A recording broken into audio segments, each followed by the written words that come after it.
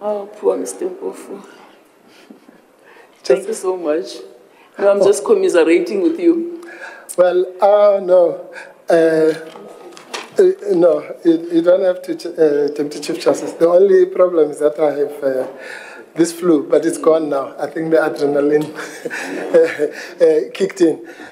No, uh, we indebted to the court for the, for the interaction, and um, the, the order that we seek is uh, obviously whether it is based on the, well, the current application is gone now, whether it's based on the acceptance of that the conviction was not a conviction for section 713, or that the sentence was not a sentence for the purposes of that section, or if the court doesn't like those, the mere fact that the remission, the presidential remission of sentence obviously had the effect of reducing uh, the, the sentence, assuming it was a normal sentence, quote unquote, or what Justice Khampepe called a conventional uh, sentence. Assuming it was, it was those, the effect of the remission was, would have been to reduce it. If, if, if the, the court is against us on all those three issues on the merits, we still say that the court will have a duty to examine where the IEC derives its power to, um, to, to deal with the holding of office, which is a, a province of the um, National Assembly. And if they are against us even on that, then the bias point with respect on these facts is unanswerable because I don't think there's anyone who can ever say that a body, a so-called independent body at that, can uh, do what was done here. So on either one of those bases, we respectfully submit that the appeal be dismissed with cause.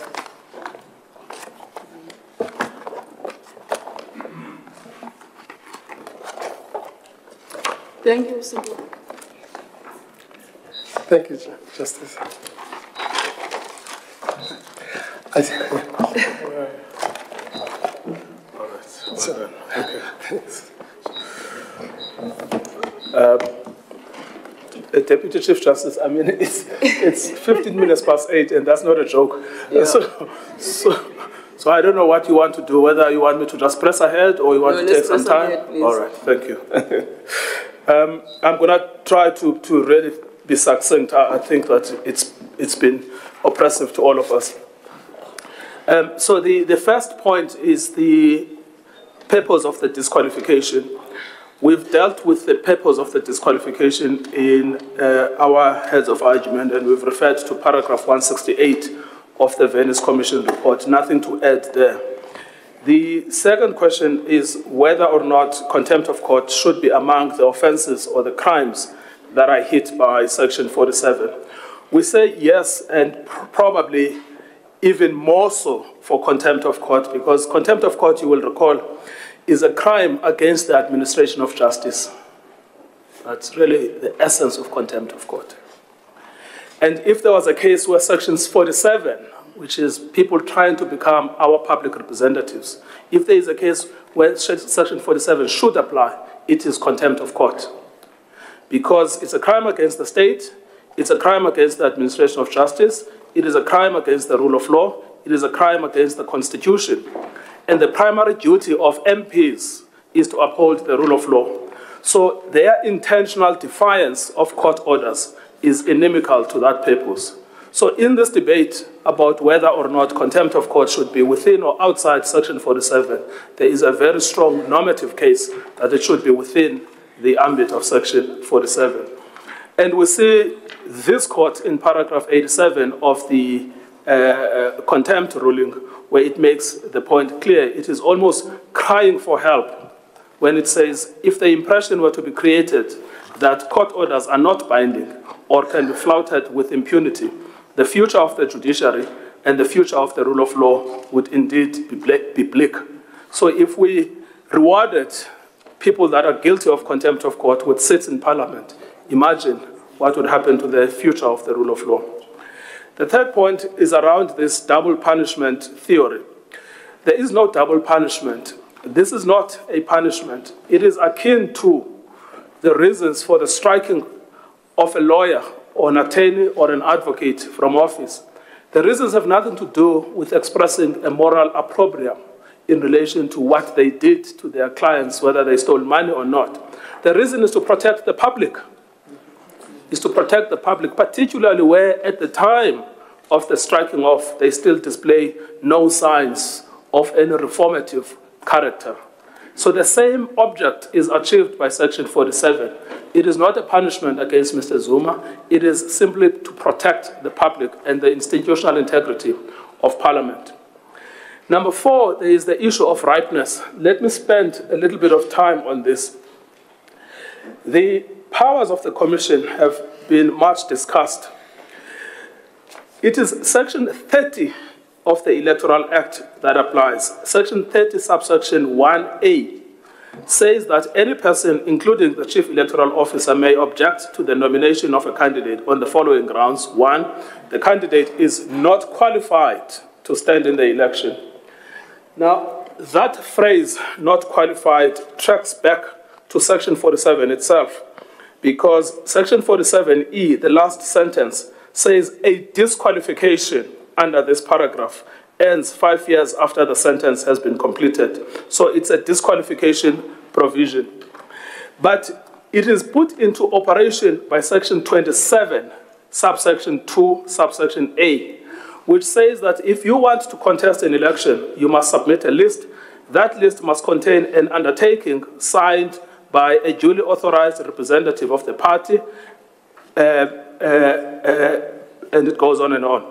That undertaking is contained in page 147 of the records. So you will see it, page 147 of the record. That is what that undertaking is. It's Appendix 2. This is what it says. Uh, Justice Gamble, you raised this point, but never really went to the actual annexure. But it's this is where it is at page 147. This is what you undertake. I declare, under 8, I declare that I have confirmed that each candidate on the list is qualified to stand for election in terms of section 47 and or section 106 of the constitution section 47 applies to the national assembly section 106 applies to the provincial legislature so this is all a pre-screening process prior to anyone being nominated for the National Assembly. So plainly, it's an obligation of the Electoral Commission that it must screen candidates for qualification under Section 47 of the um, uh, Constitution. We have made further submissions in our heads of argument in which we point out that there is a fundamental conflict in what we, is being submitted on behalf of MK because they say that you qualify, you are eligible to stand for an office that you cannot hold. And they say, well, the solution is Rule 13 of the rules.